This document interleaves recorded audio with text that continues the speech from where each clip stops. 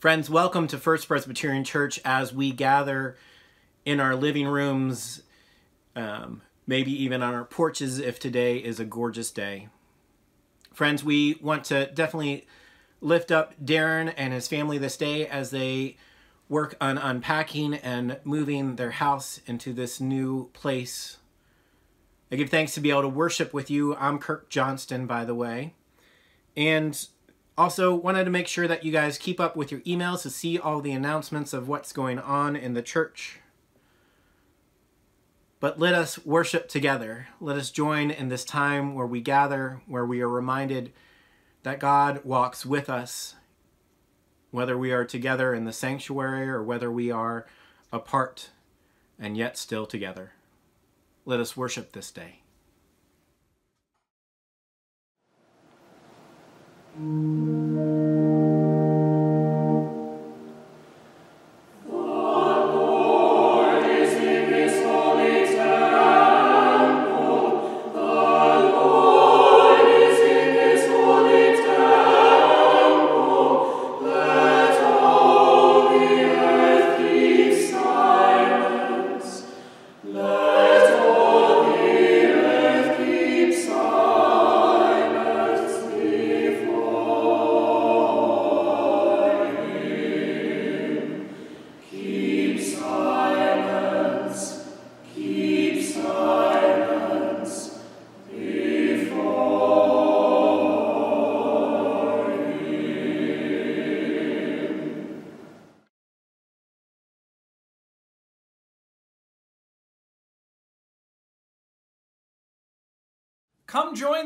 celebration from your couch, from your porch, from home.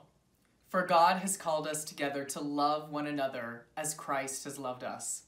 Come join the song, my siblings. We have a companion for the journey. For God will not leave us orphaned. God's Spirit sustains us in love. We are a resurrection people. New life is coming. Alleluia. Amen. Amen.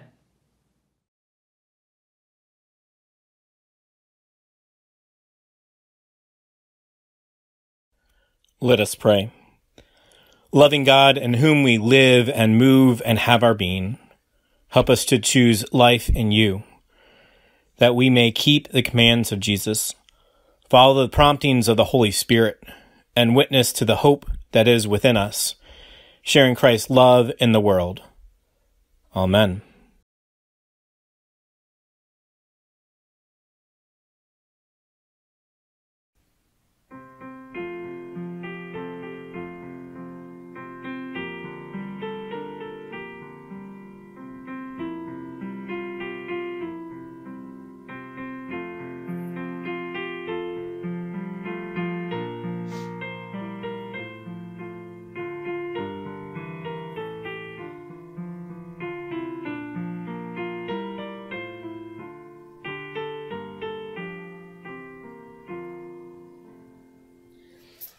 In the bulb there is a flower, in the seed an apple tree, in cocoons a hidden promise, butterflies will soon be free. In the cold and snow of winter, there's a spring that waits to be, unrevealed until its season, something God alone can see. A song in every silence, seeking word and melody. There's a dawn in every darkness, bringing hope to you and me. From the past will come the future, what it holds a mystery. Unrevealed until its season, something God alone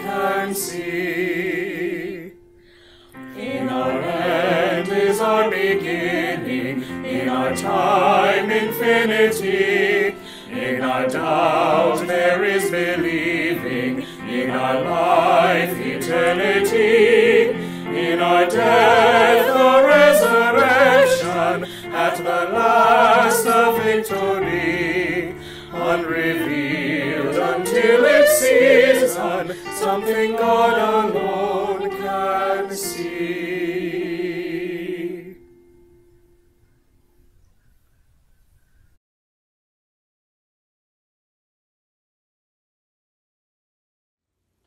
Siblings, God not only asks us to repent, but also assures us of forgiveness.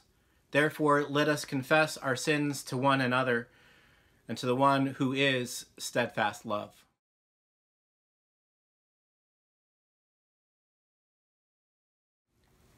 Loving God, we do not always keep your commandments. We fail to love you. Our conscience is not clear. You call us to love as you have loved, yet we are drawn to judgment and division. Call us once again to the well of living water. Wash us that we might live again through the grace and mercy of Jesus, our resurrected Savior. Amen.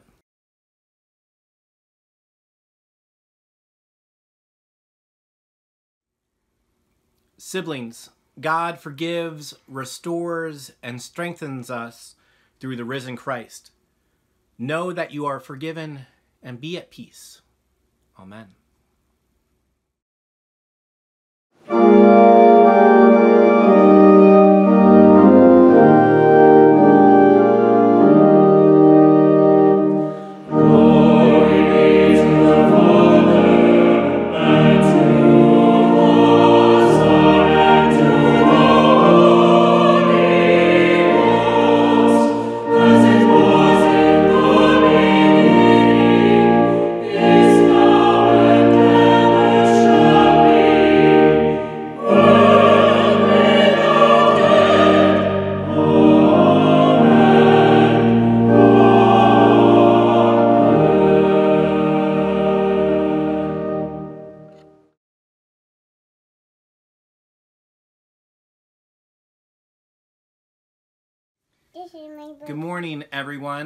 Especially we want to say good morning to our children of the church. One of them's here with us, Isla. But Isla, we also are talking to Charlie and William and James and Philip and James and Amelia and Jack and all the other kids that might be watching online. We want to say hi. And we brought somebody special with us today. Who's this, Isla? Bunny. He's your bunny? What kind of adventures does he go on with you? Where where do we take him sometimes? A baby river. To the baby river. And when you go to sleep at night, does he ever snuggle with you? Mhm, And give me a time I in bed. Mm-hmm. He lays with you while you're in bed. Is it nice to have him nearby? Uh-huh. Mm-hmm. Do you feel comfort when he's by you? Uh-huh. Uh-huh. What else does he make you feel? I put up his ear. You put up his ear, yeah? Does he listen to you when you put up his ear? Uh-huh. Mm-hmm. So today, one of the things that we're learning about is that Jesus loves us so much that Jesus gave us a companion. Kind of like your bunny, a companion is someone who goes with you on the journeys in life. And so, friends, we have a companion from Christ that loves us and cares for us and helps us to be able to journey through life. We give thanks. We give thanks for all the companions. The wiggly wormy ones, the ones who are the ones that want to get down. We give thanks for them all. We give thanks for all of you that are gathered, that are worshiping with us, that have been in the midst of Bible studies, and that have been praying for one another. God calls us to be companions, to love one another with the power of the Holy Spirit. Isla, can you pray with me? No. I'm trying. Okay, repeat after me, all right? Dear Jesus, we love you. We give you thanks for companions like our bunny and like the Holy Spirit. Help us to love one another. Amen. Now may the peace of the, our Lord Jesus Christ be with you all, now and forevermore.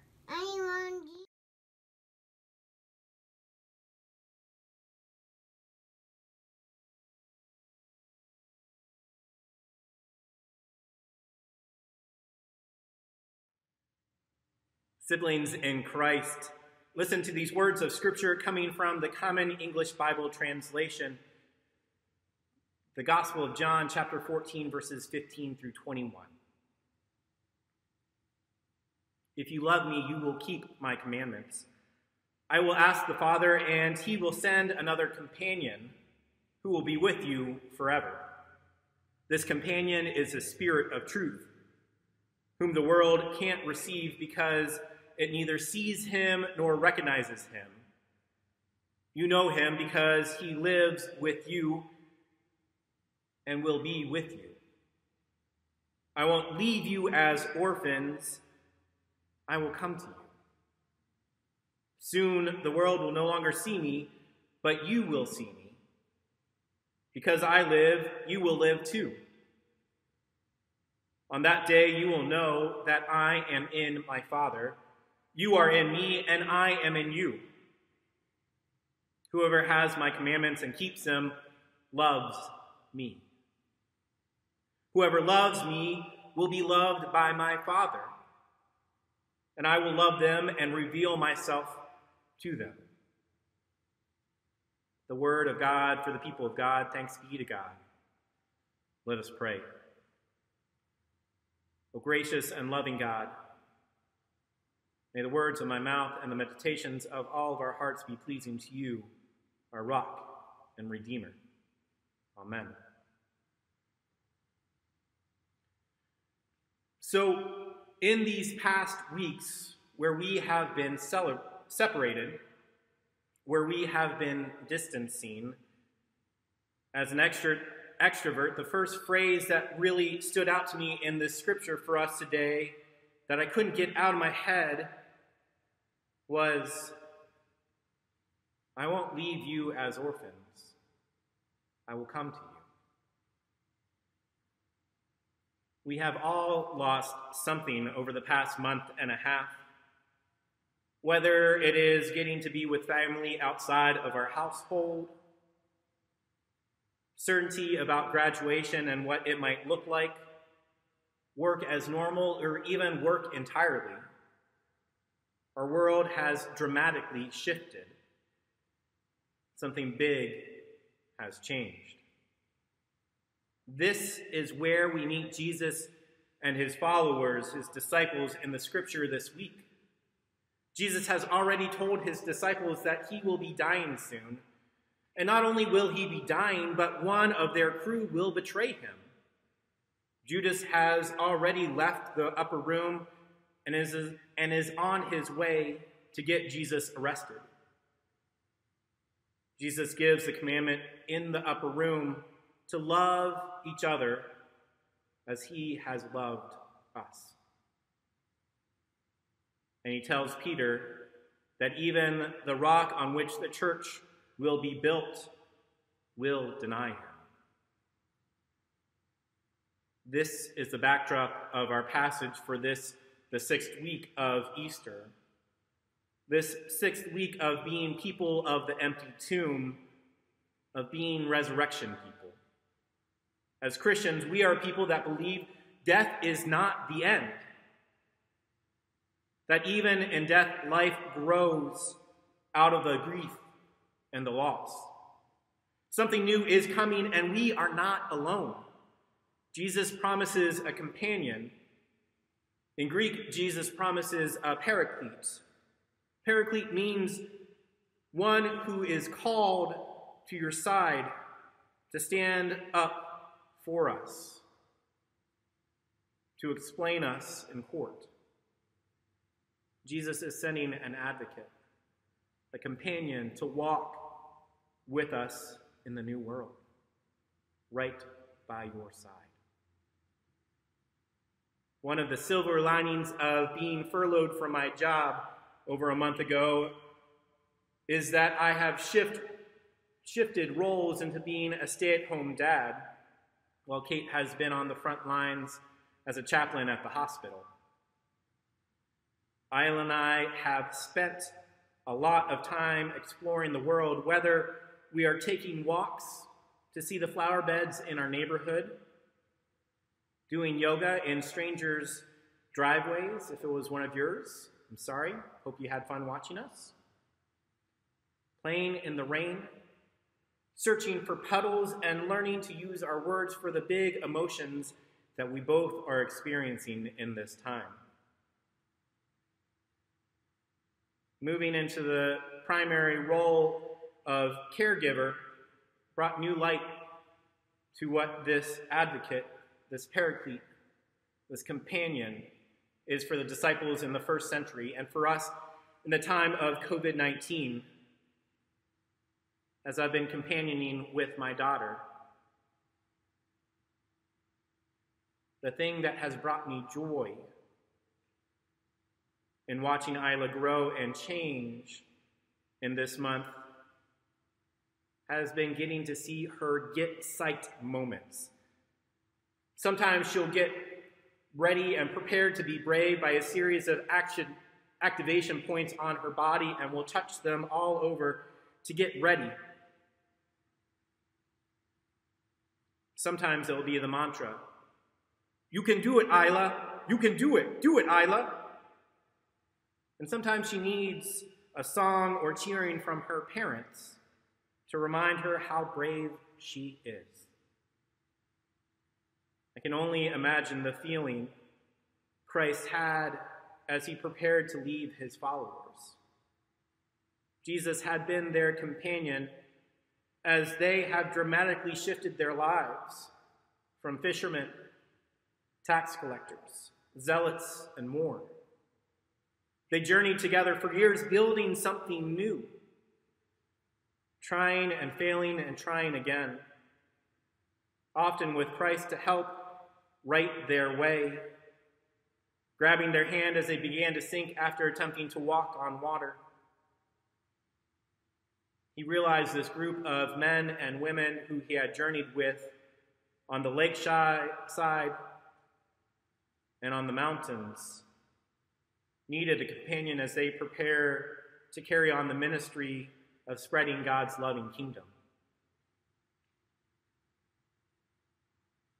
This past week was the beginning of stage two for Indiana, building to what it will mean to be open as a state in a post COVID 19 world. With the promising promises of opening, it brings many feelings that run the gauntlet from excitement to some sense of being normal, possibly in the future, to fears of resuming gatherings too soon. The disciples who walk this earth with Christ and those of us journeying together virtually are moving into a new world. Going into the new, the unknown, and the unfamiliar is always scary and exciting. The good news is we won't be unfamiliar. The good news is we won't be left alone to do it. Just as Jesus strapped on his sandals day after day to walk with and lead his disciples, the Paraclete, the Advocate, the Companion, is coming to journey with us.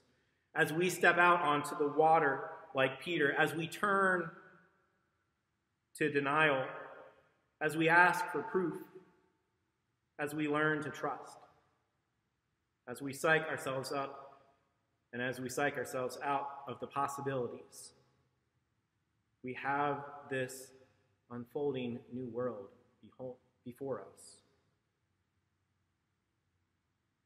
Now, it is important that we don't look at this time that we have been through separate yet together just as a break or a pause or delay out of our normal. I pray that we can look at this day at home time as a time in the tomb, a time of challenge, a time of change, a time of growth to prepare us for the resurrection.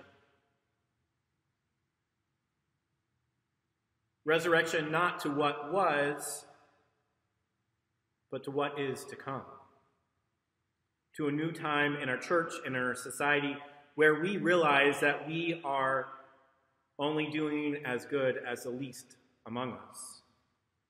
Throughout Scripture, we are reminded over and over again to care for the orphan and the widow, the foreigner residing in our country, to restore the marginalized, the isolated, the less fortunate to the fullness in society.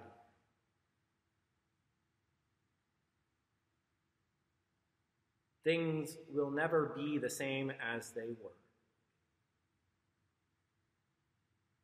Let me say that again. Things will never be the same as they were. And honestly, that is the way that it has always been. It's the way that we experience our children growing up. It's the way graduates experience leaving home to make their own families. It's normal for things to shift and change. And we will not be left as orphans as we go forward. The good news is we are resurrection people who believe that new life continues to come around. We will have a companion on this journey into what is emerging. And we are called to journey together. Continue to find ways to check in on one another. Make face masks for your less sewing inclined siblings in Christ and for others that you might know. Continue to sponsor a meal for a floor of nurses at Ball Memorial, if that is something you are able to do. Whatever you do, act out of love. Not just for our family of faith here, but for all of God's children in Muncie, in Indiana, in the U.S., in all of God's beautiful creation around the world.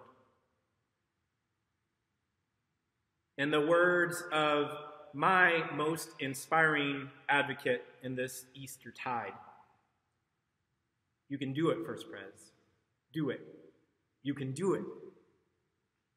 You got this, First Pres. Go into this new world, emboldened by the companion. Cheer each other on. Get psyched. Love each other as Christ has loved us.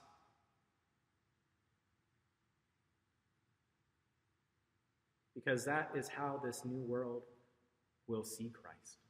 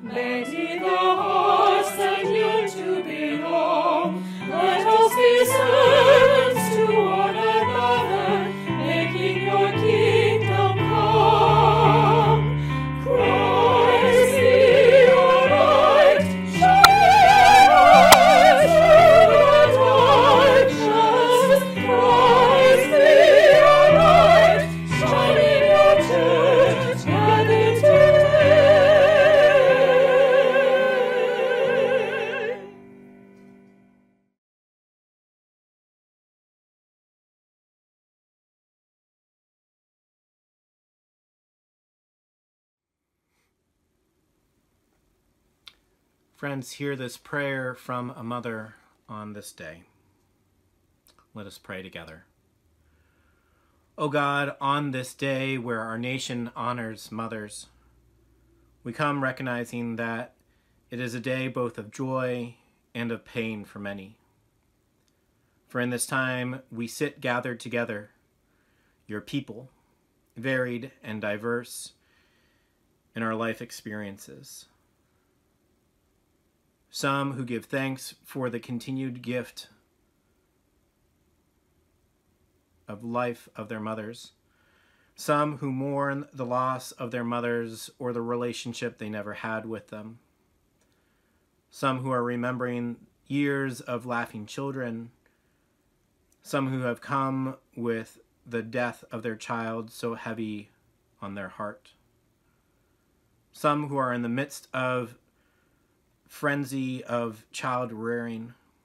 Some whose wombs have stayed empty or for whom a busy, frenzied life is something they can only dream of.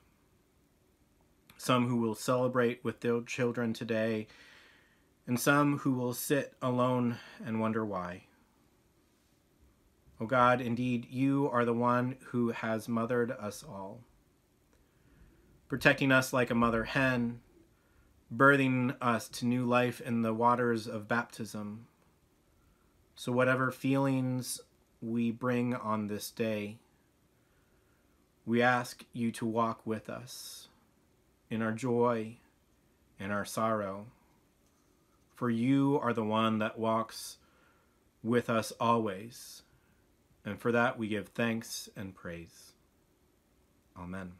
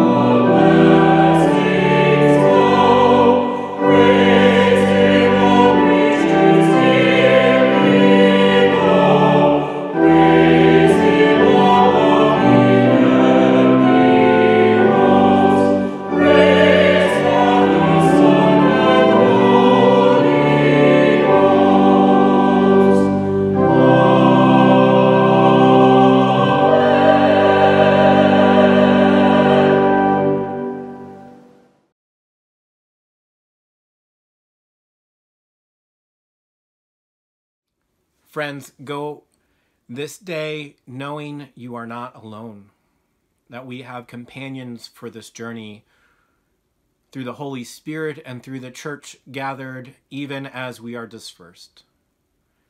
And hear this message from one of your most precious companions who loves you and will send you on your way.